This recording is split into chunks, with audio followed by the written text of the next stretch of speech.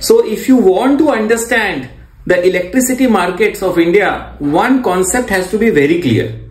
That is, there are two markets in India. One is a wholesale electricity market and another is called retail electricity market.